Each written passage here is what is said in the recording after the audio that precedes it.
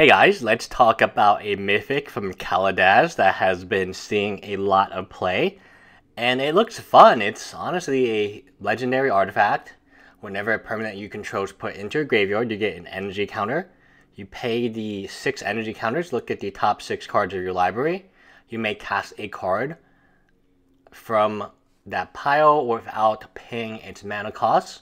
Put the rest on the bottom of your library looks very, very good. It, I mean, you have to look at the Pro Tour right now. It's doing incredibly well, at least day one.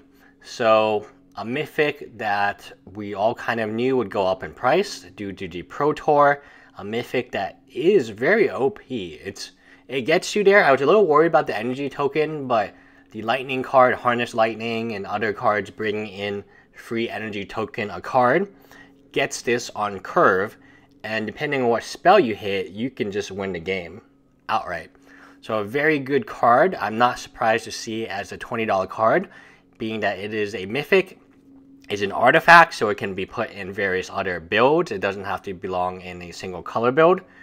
I love I love it. I think it's definitely a card that you should have got a playset before Pro Tour.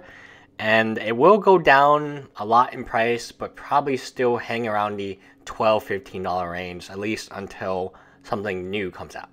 Anyway, bye guys.